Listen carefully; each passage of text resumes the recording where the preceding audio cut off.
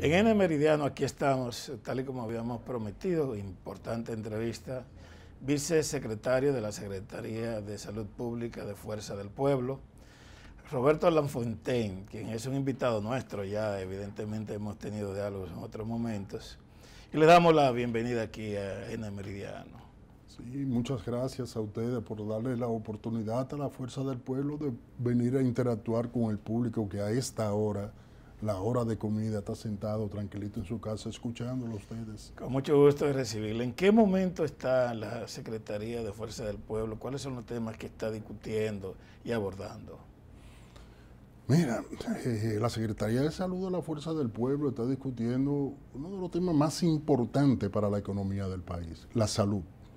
Así como cuando un carro está dañado, no puede cumplir sus propósitos de trasladarnos a nosotros a realizar la actividad que querramos realizar cuando el cuerpo está dañado, cuando la salud de las personas está impactada, no hay economía que funcione, porque son las personas las que ponen a, eh, funcionar la economía. Entonces, en un momento donde la salud se ha deteriorado, deteriorado, no estamos hablando de mantener los mismos estándares del 2020, estándares por el cual se, se, anunció, se anunció, se levantó un porte estandarte que iba a haber una transformación, un cambio, sino por el deterioro que ha habido de la salud de la población desde el 2020 a la fecha. A propósito del tema de los servicios hospitalarios, eh, vimos que recientemente ustedes hicieron una rueda de prensa y declararon una grave situación en los hospitales públicos. El discurso del gobierno es otro. ¿Cuál es la realidad de ese sector? Mira, si tú te pones a ver, Leo, el discurso del gobierno coincide con nosotros. Cuando tú analizas este discurso, te vas a dar cuenta que en salud, en el tema hospitalario, ¿qué se hizo? Ustedes que muchos lo han analizado, ¿qué se hizo?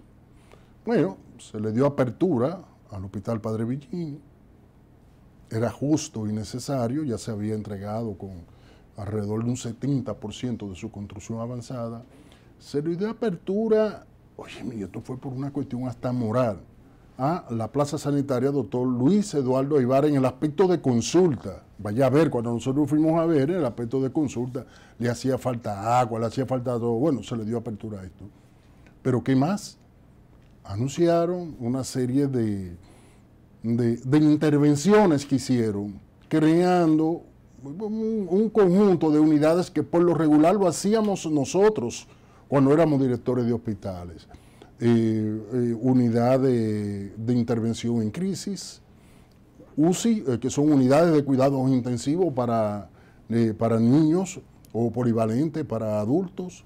Se crearon unidades para la atención a la adolescente, unidades que son importantes, tienen su importancia y que uno las informaba, pero que por lo regular para un discurso de presentación de elementos realizados no tiene ninguna, no tiene ninguna trascendencia. ¿Qué dijo el presidente? Trabajamos con alrededor de 400 UNAT, solo con UNAT.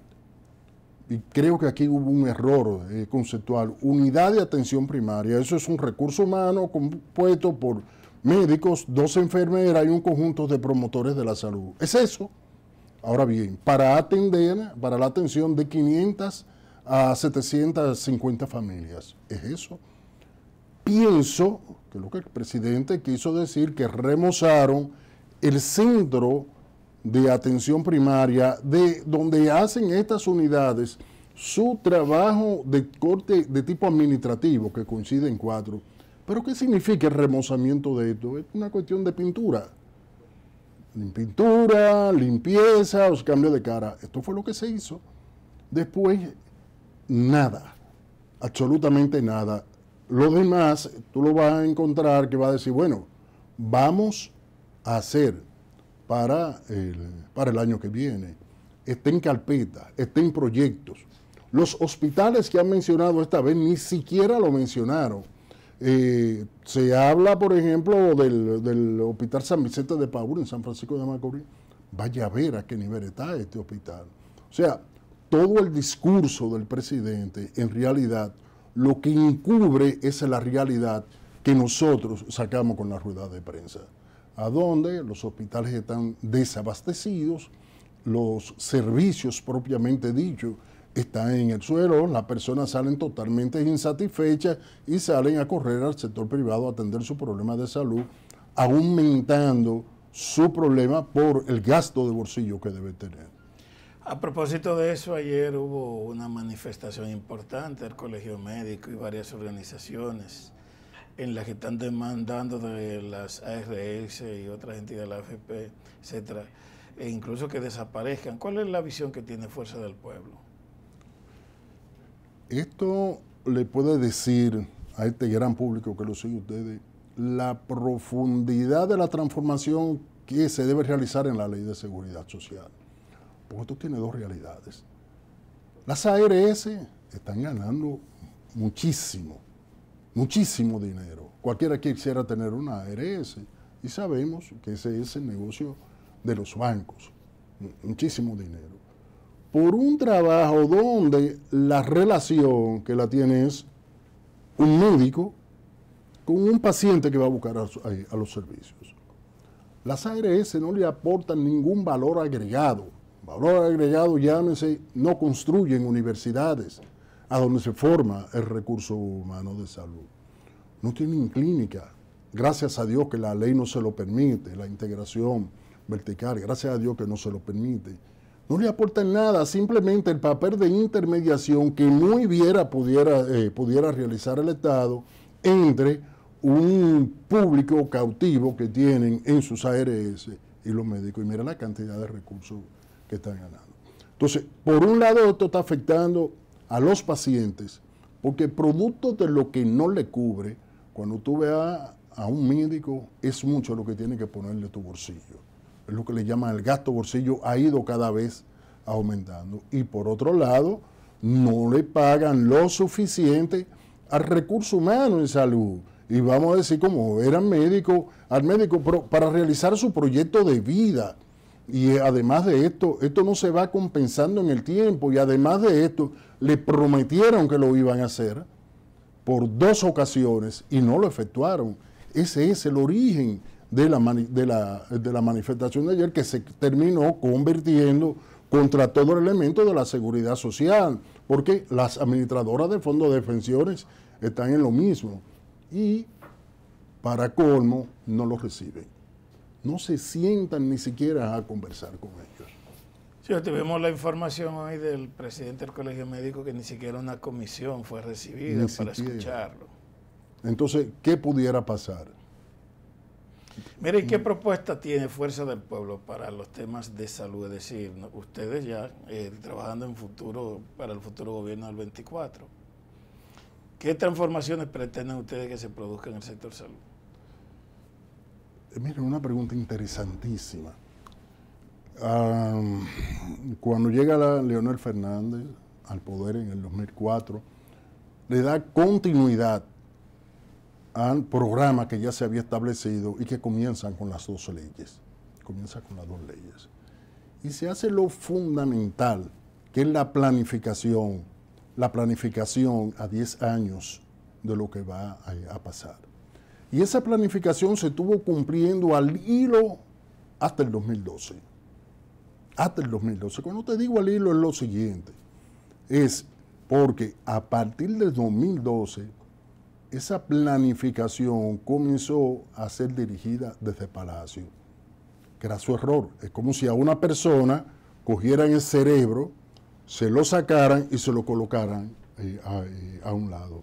Le quitaron la rectoría del sistema. La rectoría del sistema. ¿Sabes lo que implica esto? Que todos los sectores que tienen que ver con el, el proceso de transformación del sector salud fueron anulados. ¿Quiénes están ahí en esos sectores? Todos los que inciden en el campo de la salud. Además de esto está la sociedad civil.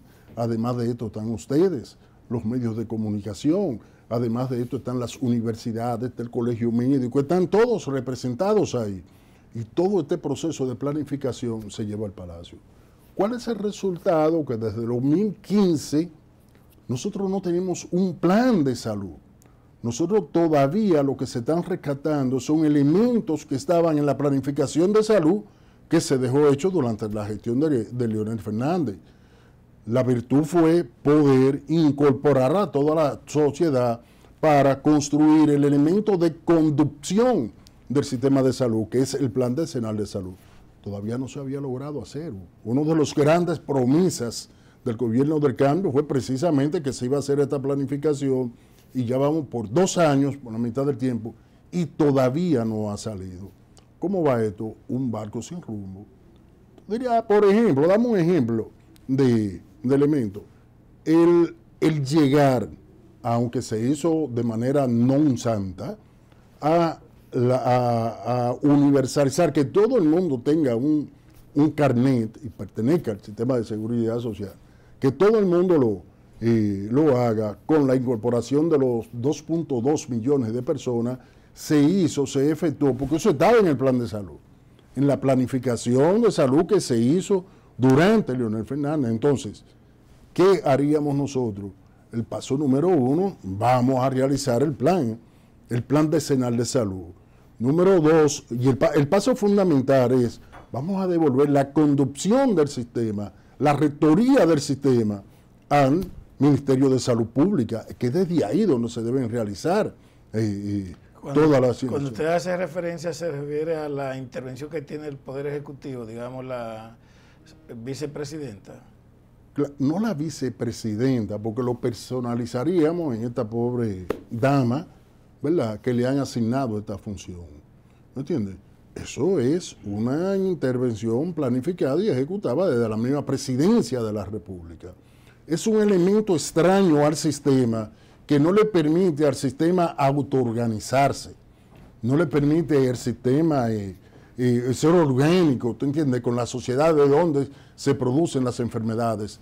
Y por eso este gran desastre que hay en salud, que no sabemos dónde vamos a ir a parar. Mire, a propósito de las mediciones que se están produciendo, encuestas, ¿cuál es la realidad de Fuerza del Pueblo?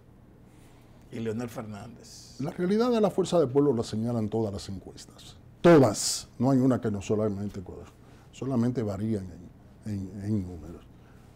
Iniciamos hace un año y pico, casi dos años, y ni siquiera aparecíamos en las encuestas. Ya somos una organización presente.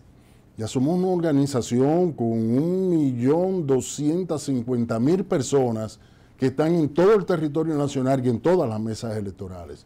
Eso es lo que está en la Junta. Además, una organización que lleva un crecimiento exponencial de alrededor de 2.500 personas, o sea, por semana. Nosotros pronto, cuando digo pronto es porque este año se está terminando, pero para el año que viene nosotros vamos a tener los 2 millones, o sea, de inscritos. Es una organización que le es reconocida como la principal fuerza opositora, no solamente por la cantidad de compañeros que tiene en, el Congreso, sino porque es la única organización que está haciendo planteamientos razonables, planteamientos justos de oposición con, con el análisis a partir de la misma realidad que nos presenta el gobierno y a partir de lo que nosotros entendemos que se debe hacer, elementos totalmente lógicos.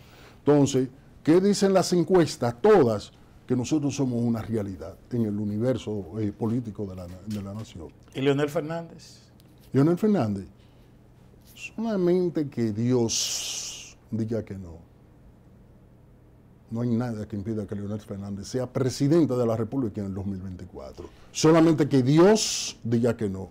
El pueblo le va a dar, va a reconocer en Leonel Fernández que es la única persona que puede conducir los destinos de la nación en esta situación de crisis. Un importante expositor, un gran amigo, pero hoy tenemos más compromiso, de manera que le esperamos aquí una próxima oportunidad, doctor Lafontaine, vicesecretario de Salud Pública de Fuerza del Pueblo. Buenas tardes. Gracias, en nombre de la Fuerza del Pueblo.